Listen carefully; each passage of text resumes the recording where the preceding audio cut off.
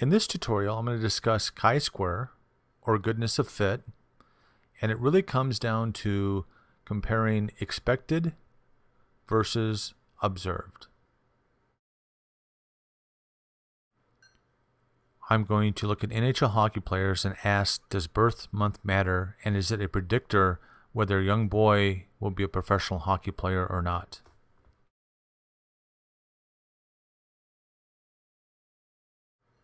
The null hypothesis I'm going to test is birth month has no impact on a child growing up to become a NHL hockey player. I'm going to do this with an alpha equal 0.05 and I want to be 95% confident of my results. I'm actually not going to use months, I'm going to use quarters of the year and I'll put the players in first, second, third, or fourth quarter depending of their birth month. I randomly picked 220 hockey players that played over the last 10 years or so. I divide this number by 4 because there's 4 quarters in a year.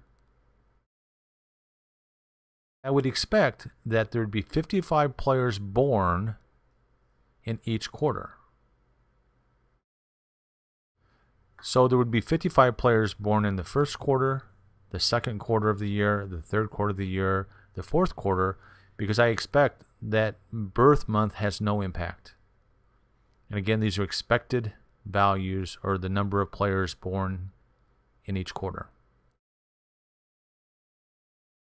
Observed from my sample was that there were 64 in the first quarter, 67 in the second quarter, 45 in the third quarter, and 44 born in the fourth quarter of the year.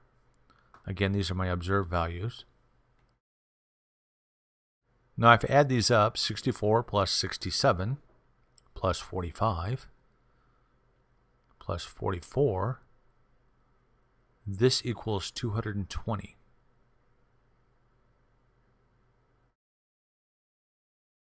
What I observed in the first two quarters was more than what I expected. And what was observed in the last two quarters of the year was less than I expected if I add up all these values, if I take the difference between expected and observed and add that all up, it will equal to zero.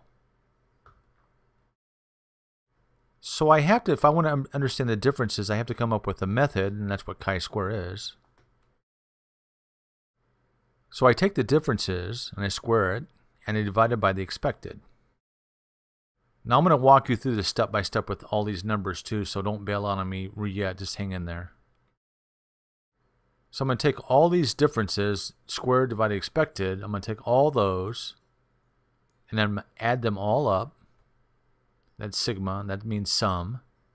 And this is my chi-squared.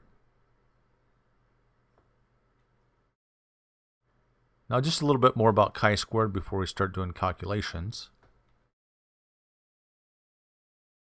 When my observed gets close to my expected, my chi-square approaches zero.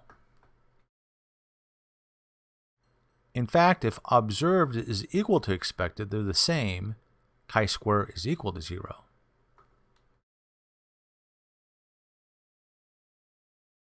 Now, as the observed and expected get far apart, chi-square becomes very large.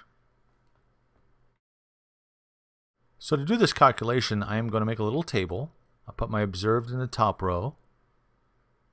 And right below that, I'll put my expected, which is 55. So I take my observed minus my expected, and that's a difference. And that's 64 minus 55 is 9. 67 minus 55 is 12.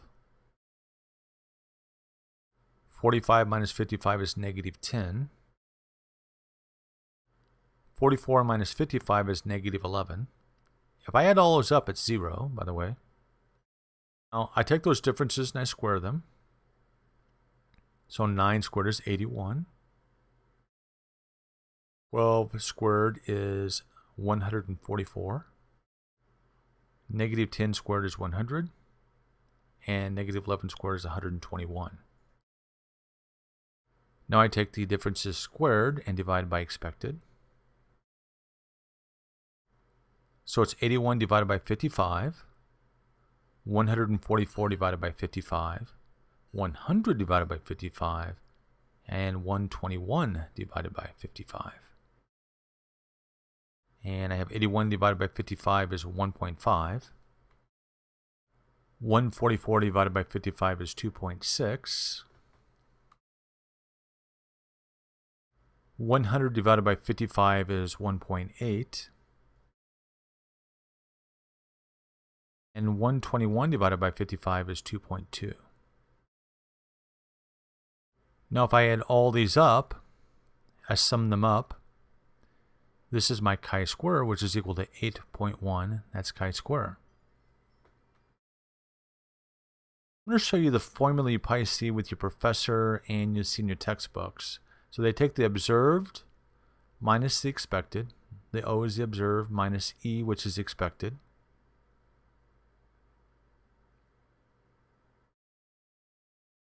And that's the same as the differences, which I was talking about. And now I square that. That part squared. Now I divide by E and that's the same as that right there and this are they're the same thing then I sum it all up and that's what that sigma means that means sum and this is equal to chi square in this case it's equal to 8.1 now I'm going to talk about degrees of freedom so I look at my categories and I have four categories one two three four, one for each quarter. And I'm looking at degrees of freedom. So degrees of freedom are equal to C, which is categories minus 1. So degrees of freedom equals to 4 minus 1 or 3. And again, that C is categories. Now I have everything to determine if my hypothesis is correct or not. Remember I started out with alpha is equal to 0.05, which is a 95% confidence. I think it's useful to draw the uh, distribution of chi-square. It looks something like this. Now I draw in my critical value, my chi-square critical value, which I'll determine in a second. And everything to the right of that any value greater than that is in the rejection region. And even with all these stats, there's a 0.05 chance I got these results just by dumb luck. Now on the back of your textbook, there's always a table. There's a lot of tables, and it looks something like this with degrees of freedom. That DF is degree of freedom down the side there. And across the top are my alpha values and you'll see like 0.10 and 0.05 and 0.01 and maybe a lot more and I'll just fill in the values that you would see in the table and these are all critical values now I, I take my degrees of freedom which is 3 in this case and I'm on that row right there and my alpha is 0.05 so my critical value is 7.81 Let me move that up and over. And now I compare that 7.81 to my calculated chi-square of 8.1, and that's larger, and that's in the red area. That's in my rejection region right there. So what do I do? So I bring in my null hypothesis again, and birth month has no impact on a boy growing up to become an NHL player, and it's rejected. And I determine that birth month matters and also being from Canada makes a big difference too.